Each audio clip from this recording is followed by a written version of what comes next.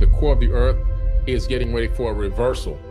Every so many tens of thousands of years, this happens. It's normal. It even creates a reversal of Earth's magnetic field.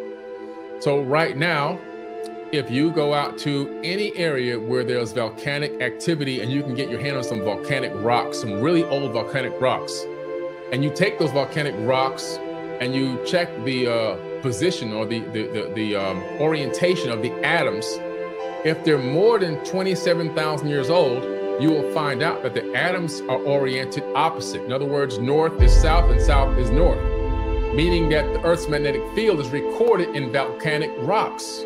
Okay.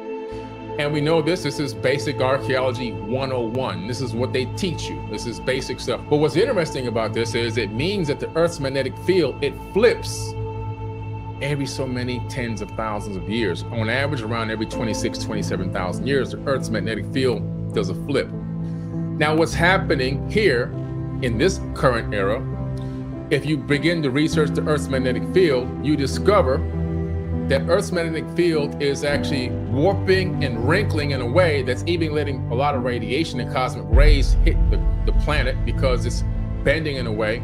And the magnetic north has begun to move. And where is it now? Magnetic north has now moved over Russia. It's actually just now beginning to pass Russia. So it's been ticking, ticking, ticking, ticking, ticking away as our magnetic field is preparing itself for a complete flip south to north and north to south. All right. And so this is interesting because this is what Thoth is talking about here in the Emerald Tablets. He's talking about something that we're experiencing right now today in modern science.